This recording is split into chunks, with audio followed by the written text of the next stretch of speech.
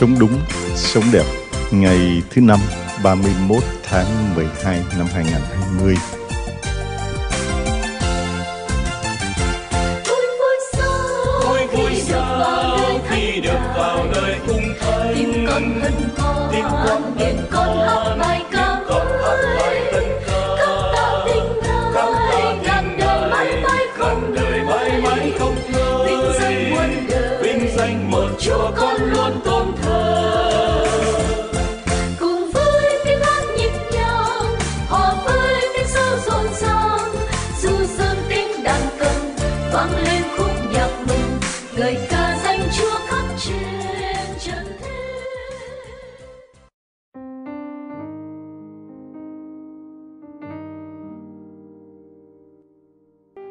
Sống đúng, sống đẹp.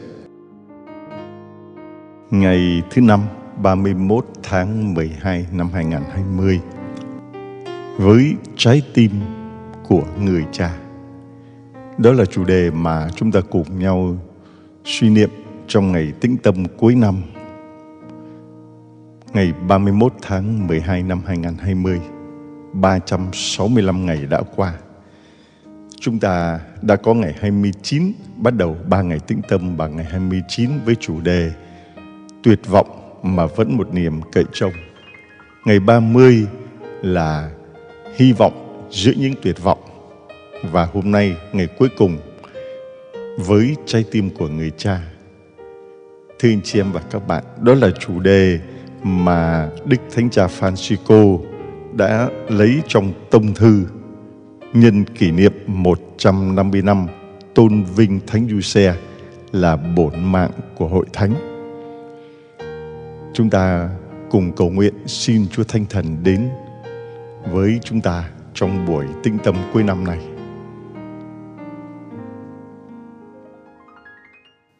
Cầu xin Chúa Thánh Thần, Người thương thăm viếng hồn con ban xuống cho con hồng ân chan chứa.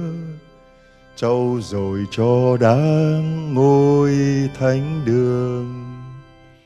Nguyện xin chúa ngôi ba, đoái nghe lời con thiết tha.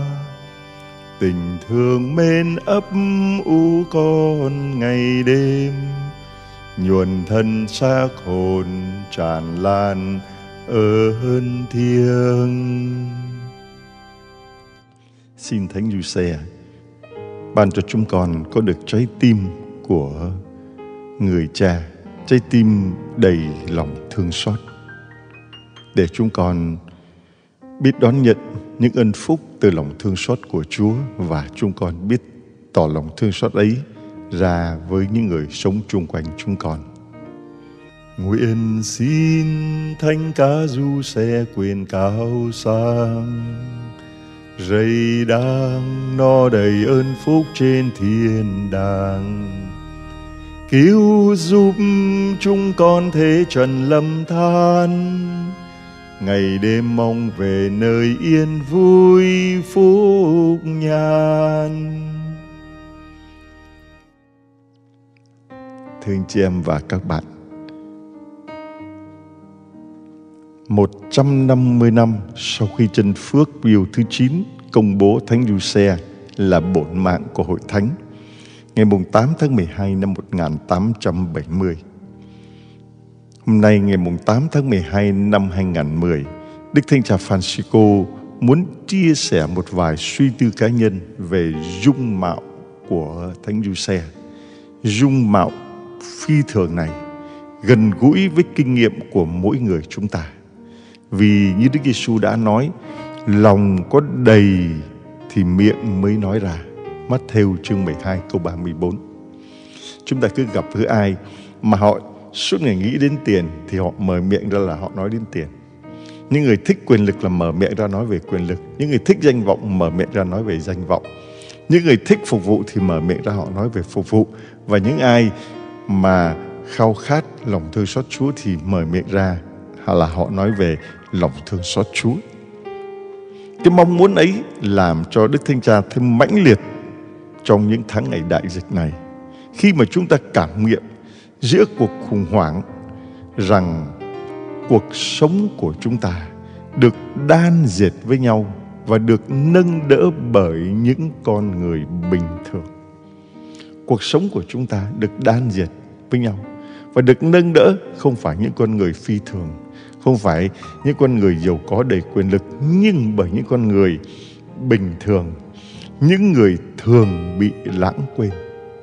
Họ không xuất hiện trên báo chí hay trong những chương trình truyền hình mới nhất, nhưng ngay trong những ngày này chắc chắn họ đang làm nên những biến cố quan trọng của lịch sử chúng ta. Các bác sĩ, các y tá, các chủ cửa hiệu và nhân viên siêu thị, nhân viên vệ sinh, nhân viên trật tự, những người chăm sóc người già và bệnh nhân, công nhân vận chuyển, những người cung cấp các dịch vụ thiết yếu và an ninh công cộng, các tình nguyện viên, các linh mục, nam nữ tu sĩ và rất nhiều người khác. Những người rất bình thường và những người thường bị lãng quên. Chẳng ai để ý đến họ, nhưng họ lại đang đóng góp những vai trò rất quan trọng trong cơn đại dịch này.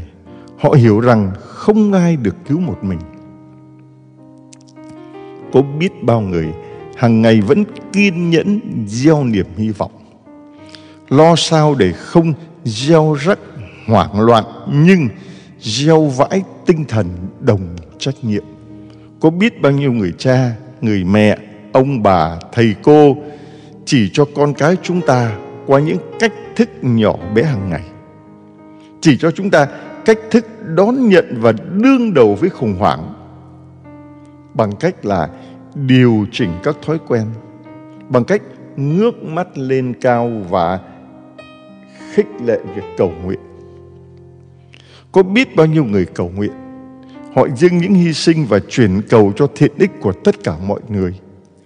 Và mỗi người chúng ta, thưa anh chị em và các bạn, trong buổi tĩnh tâm hôm nay, tĩnh tâm cuối năm này, mỗi người chúng ta có thể khám phá ra rằng Thánh Du Xe mà chúng ta vừa hay hát Du Xe trong xóm nhỏ khó nghèo Nguyên bản là du xe trong xóm nhỏ điêu tàn. Một người chẳng được để ý vẫn hiện diện hàng ngày Một cách âm thầm kín đáo Để cầu thay nguyện giúp, Trợ giúp và hướng dẫn chúng ta khi gặp khó khăn Anh chị em có biết chạy đến với Ngài hay không? Vậy anh chị em có biết là những du xe của ngày hôm nay cho những người khác không? Mình hiện diện âm thầm kín đáo cầu thay nguyện giúp cho người khác, trợ giúp và hướng dẫn người khác khi họ gặp khó khăn không? Trong gia đình của mình, trong cộng đoàn của mình, ta làm điều đó chưa và làm như thế nào? Thánh Du sẽ nhắc nhở chúng ta rằng những ai ẩn mình hay sống trong bóng tối, những ai ẩn mình hay những người sống trong bóng tối không phải là vô dụng Mặc dù là họ là người vô danh tiểu tốt đấy Nhưng họ có thể đóng một vai trò không thể sánh được trong lịch sử cứu độ. Và tất cả những người ấy Đều đáng được nhìn, nhận và biết ơn. Có một vài điểm mà Đức Thánh Cha muốn chia sẻ về trái tim nhân hậu, Trái tim người cha của Thánh Du Xe Thứ nhất là một người cha yêu thương. Sự vĩ đại của Thánh Giuse ở chỗ Ngài là bạn trăm năm của Đức Maria và là cha của Chúa Giêsu. Như thế, theo lời Thánh Gioan Kim Khẩu, Thánh Giuse đã tự đặt mình phục vụ toàn bộ kế hoạch cứu rỗi. Thánh Phaolô Đệ Lục đã chỉ ra rằng Thánh Giuse đã thể hiện một cách cụ thể vai trò làm cha của mình bằng cách biến cuộc đời của mình trở thành của lễ hy sinh phục vụ mầu nhiệm nhập thể cùng với sứ vụ cứu thế thánh du xe dùng quyền hạn hợp pháp của mình đối với thánh gia để cống hiến hết mình cho các ngài trong cuộc sống và công việc của mình ngài đã biến ơn gọi sống tình yêu gia đình của phạm nhân thành sự dâng hiến siêu phàm chính mình, trái tim và tất cả khả năng của mình. Một tình yêu được dành để phục vụ đấng Messiah đang lớn lên trong mái ấm của Ngài. Vì vai trò của Ngài trong lịch sử cứu độ, Thánh Giuse luôn được các Kitô hữu tôn kính là cha. Điều này được thể hiện qua vô số nhà thờ dâng kính Ngài trên khắp thế giới. Nhiều học viện tôn giáo, hội đoàn, các nhóm giáo hội lấy cảm hứng từ linh đạo của Thánh Giuse và mang tên Ngài. Cùng với nhiều cách bày tỏ lòng đạo đức truyền thống cũng tôn vinh Ngài. Sách kinh nào cũng có những kinh cầu nguyện với Thánh Giuse. Có những kinh đặc biệt cầu cùng Thánh Giuse vào các ngày thứ tư và nhất là trong tháng 3 theo truyền thống được dành để kính Thánh Giuse. Cho anh chị em còn nhớ kinh cầu Thánh Giuse chưa ạ? Hoặc là kinh Thánh Giuse bầu cử và ơn ông Thánh Giuse chúng con chạy đến cùng người trong cơn gian nan. Mà nếu anh chị em đọc mỗi ngày thứ tư hàng tuần, xưng tội trước lễ cầu nguyện theo Đức Giáo Hoàng mình đang được ơn toàn xá trong suốt năm toàn xá từ ngày mùng 8 tháng 12 năm 2020 đến mùng 8 tháng 12 năm 2021. Lòng tín thác của mọi người vào Thánh Giuse được thể hiện trong câu, Hãy đến cùng Giuse. Gợi lại nạn đói ở Ai Cập khi người Ai Cập đến xin Pharaoh cho bánh ăn, thì ông trả lời là hãy đến cùng Giuse và hãy làm những gì ông ấy bảo. Dĩ nhiên là Pharaoh muốn nói đến Giuse là con của Jacob là người đã bị chính anh em của mình bán làm nô lệ do lòng ghen tị và sau đó trở thành phó vương Ai Cập. Thánh Giuse thuộc dòng dõi vua David là cội rễ mà từ đó Chúa Giêsu sẽ sinh ra theo lời hứa được tiên tri Nathan báo với David và là bạn trăm năm của Đức Maria thành Nazareth. Như thế, Thánh Giuse tự trưng cho mối liên hệ giữa cựu ước với tân ước. Giuse một người cha yêu thương. Điểm thứ hai, Giuse một người cha dịu dàng và yêu thương. Thưa anh chị em và các bạn, Thánh Giuse đã chứng kiến Chúa Giêsu lớn lên từng ngày về khôn ngoan, vóc dáng và ân sủng trước mặt Thiên Chúa và trước mặt người ta. Như Thiên Chúa đã làm với Israel, Thánh Giuse cũng đã làm với Chúa Giêsu. Ngài dạy bước đi cầm lấy tay đối xử như một người cha nâng đứa trẻ lên tận má mình cúi xuống và cho ăn. Nơi thánh Giuse, Chúa Giêsu đã nhìn thấy tình yêu dịu dàng của Thiên Chúa.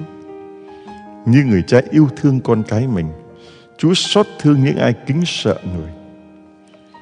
Nơi mỗi gia trưởng trong gia đình ta có làm cho vợ con mình nhìn thấy tình yêu dịu dàng của Thiên Chúa không? hay đó chỉ thấy sự thô lỗ cộc cằn, gắt gỏng, la lối cợp, rượu chè, nơi mỗi người mẹ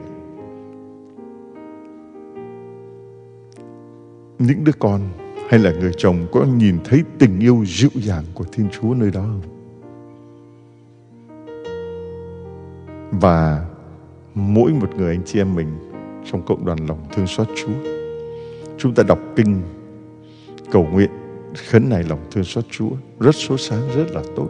Nhưng anh chị em nhìn lại trong một năm vừa qua mình tĩnh tâm mình nhìn lại thử coi trong một năm vừa qua cái cách sống của tôi có làm cho người ta thấy được sự tình yêu dịu dàng của Thiên Chúa không? Tình yêu dịu dàng ấy chính là lòng thương xót đấy. Mình thể hiện lòng thương xót như thế nào? Để cho người ta cảm thấy rằng wow tình yêu dịu dàng của Thiên Chúa đây rồi lịch sử cứu độ được hoàn thành trong hy vọng dù không còn hy vọng. Roma chương 4 câu 18 vẫn, vẫn hy vọng dù không còn hy vọng qua những yếu đuối của chúng ta. Chúng ta thường nghĩ rằng Thiên Chúa chỉ hoạt động qua những mặt tốt của chúng ta mà thôi. Thưa cha con đâu có gì tốt đâu. Con đâu xứng đáng đâu. Chúng ta thường, thường chỉ nghĩ rằng là Thiên Chúa là đấng tốt lành cho nên Ngài chỉ chọn những gì tốt lành, Ngài chỉ dựng những gì tốt lành. Đó là suy nghĩ của con người, tính toán của con người. Nhưng mà suy nghĩ của Thiên Chúa với tính toán của Thiên Chúa khác xa với suy nghĩ và tính toán của con người. Nhưng chúng ta thấy rõ ràng là hầu hết kế hoạch của Thiên Chúa đều được thực hiện qua sự yếu đuối của chúng ta và bất chấp những yếu đuối ấy. Vì vậy Thánh Phaolô mới nói rằng là để cho tôi được tự khỏi tự cao tự đại, thân xác tôi như bị một cái dầm đâm thâu. Một thù hạ của Satan được sai đến để hành hạ tôi, để cho tôi khỏi hoanh hoang.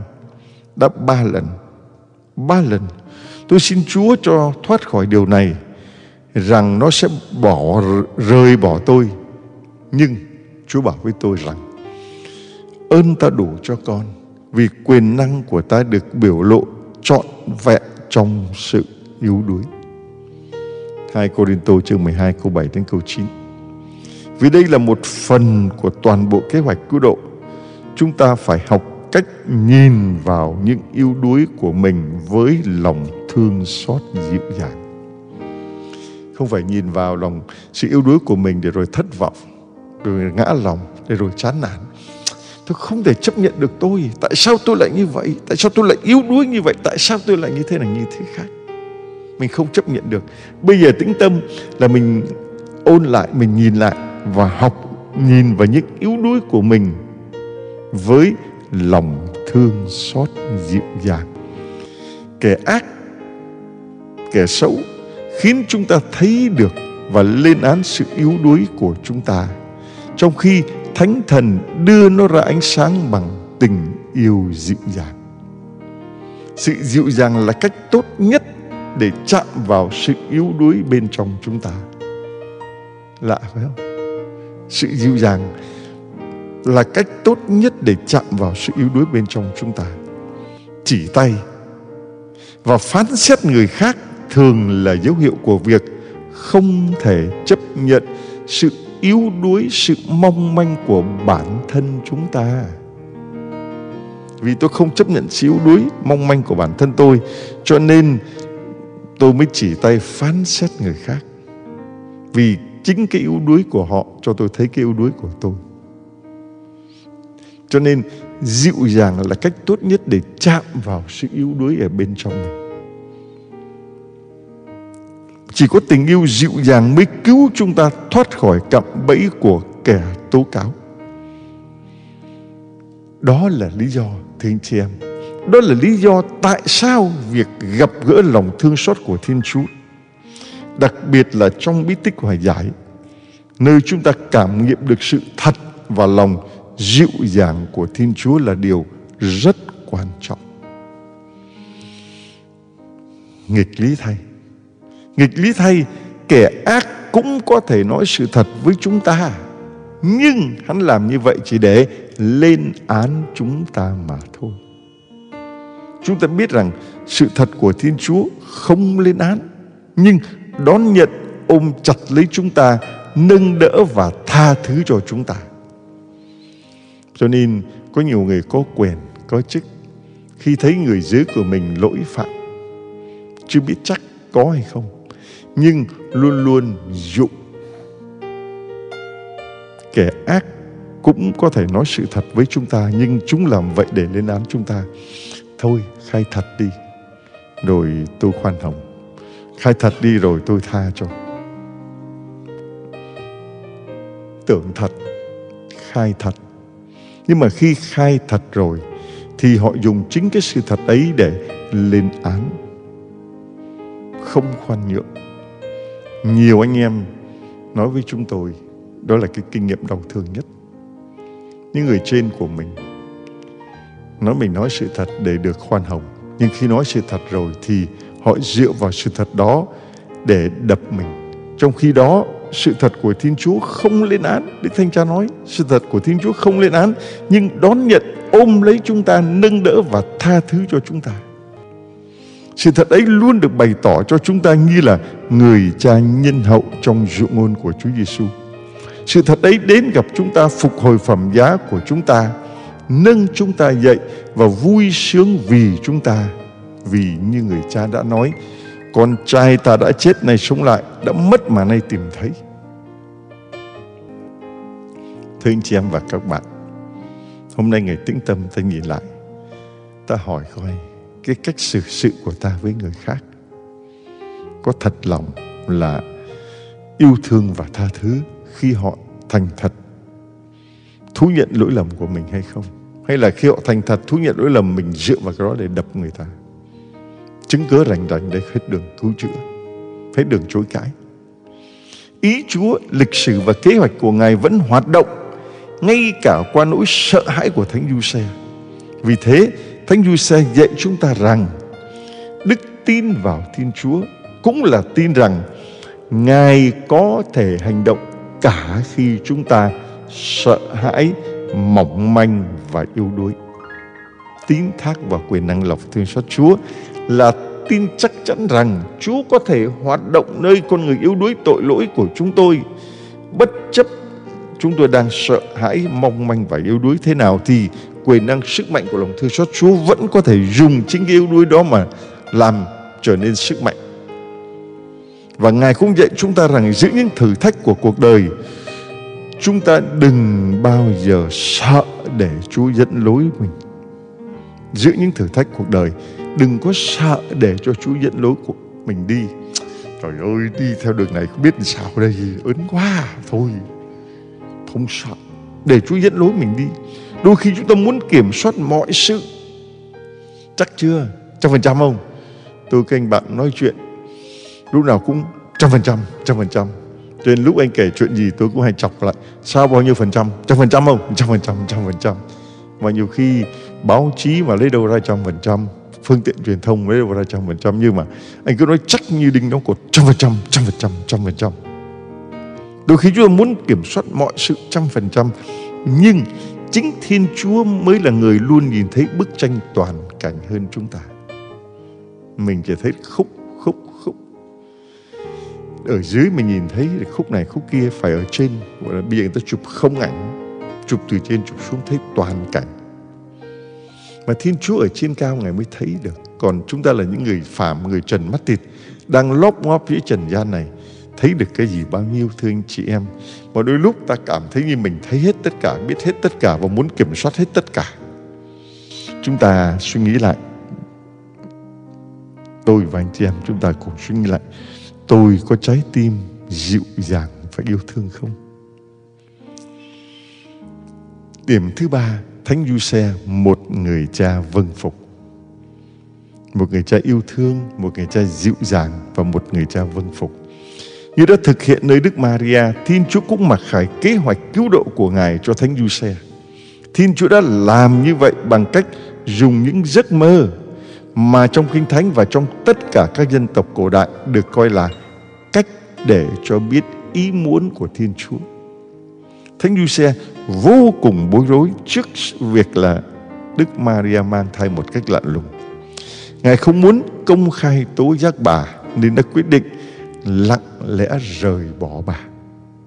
Matthew chương 1 câu 19 Trong giấc mơ đầu tiên một sứ thần giúp Ngài giải quyết tình huống khó xử nghiêm trọng.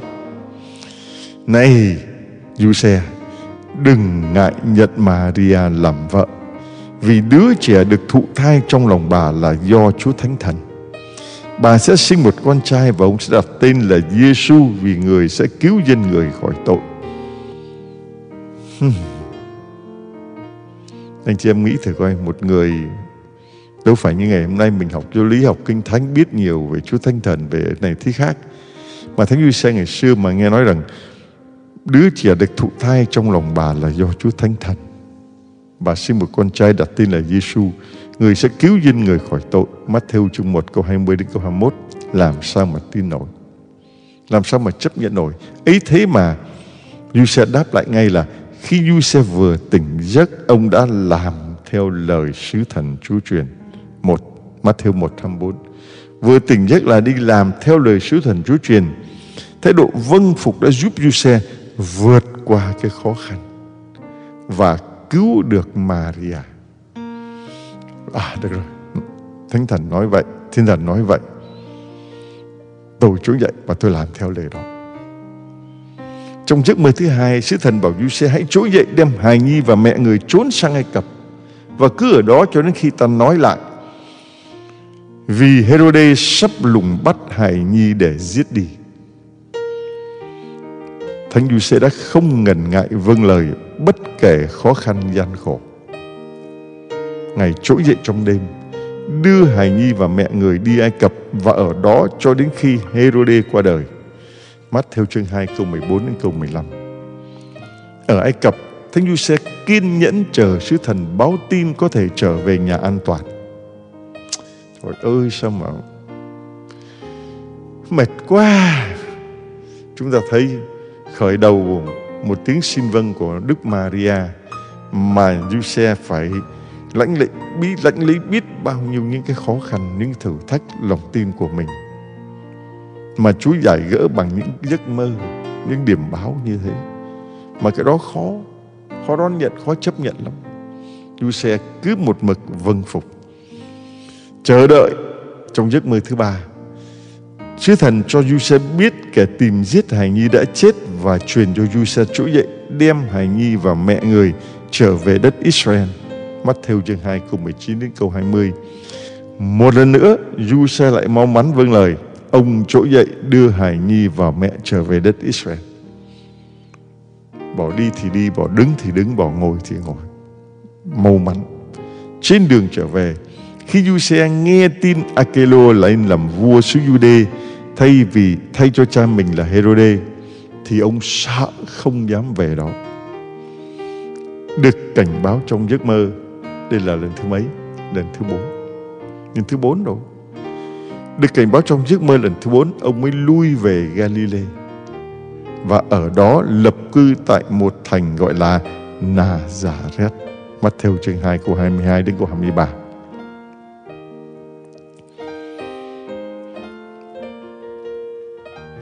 trong mọi hoàn cảnh du sẽ đều nói lời phi át xin vâng của chính mình như mẹ Maria xin vâng và như Chúa Giêsu trong vườn cây dầu. Lạy cha, nếu có thể được thì xin cho con khỏi uống chén này.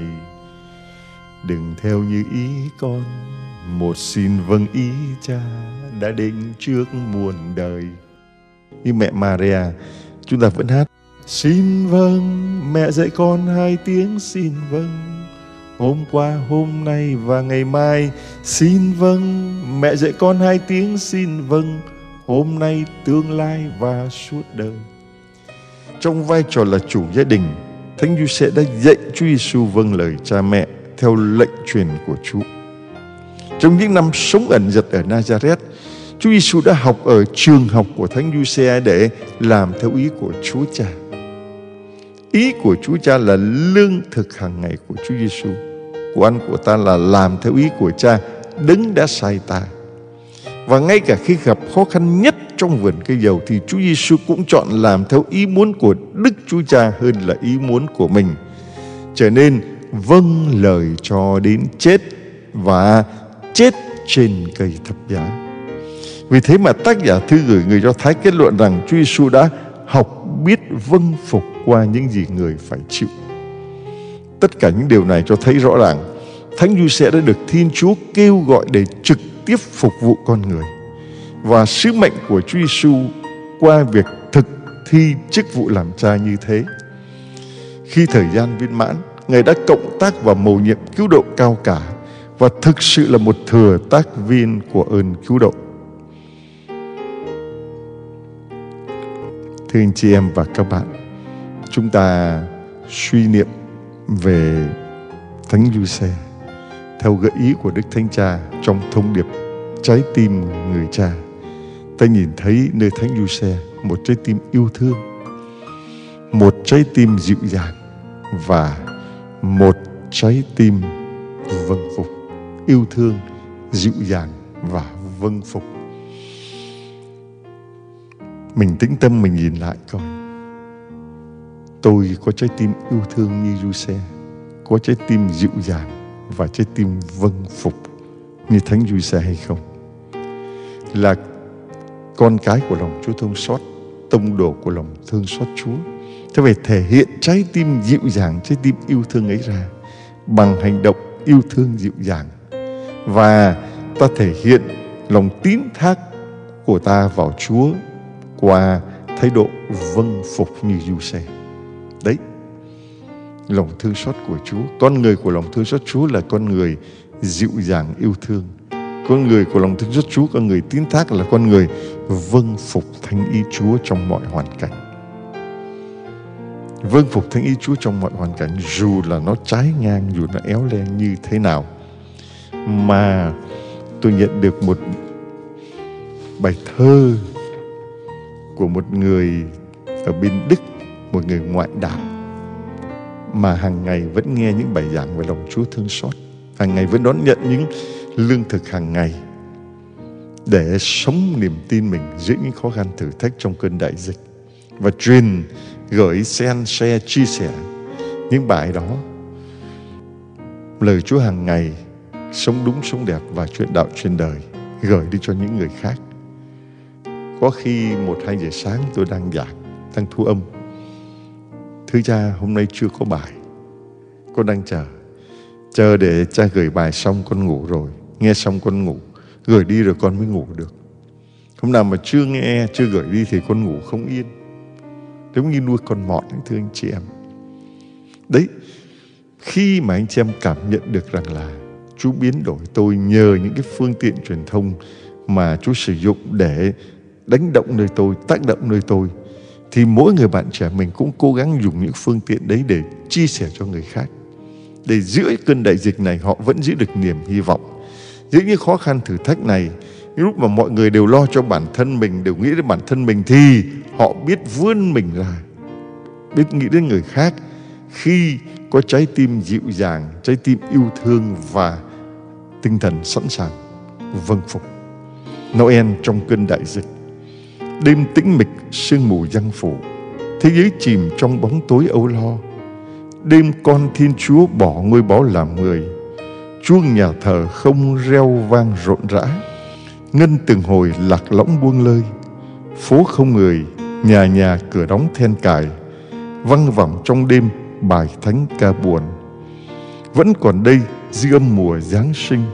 Vẫn còn đó trên từng ô cửa sổ những ngôi sao đang chiếu rọi đêm đen. Những ánh sao mang bao niềm hy vọng. Trong thế giới hỗn loạn hôm nay, cũng như xưa, sao dẫn lối mục đồng? Sao hôm nay cũng lung linh huyền diệu? Sưởi ấm lòng người trong nỗi hoang mang, soi dẫn đến nguồn sáng bất diệt. Nguồn sáng sự sống mới vừa được bừng lên. Ánh sáng giáng sinh nguồn vĩnh cửu xóa tan đi những uẩn khúc quanh co. Vững thẳng bước đi trong sức sống mới, sức sống từ lòng thương xót của trời cao, cho đêm đen thấm đượm màu yêu thương. Hallelujah. Amen.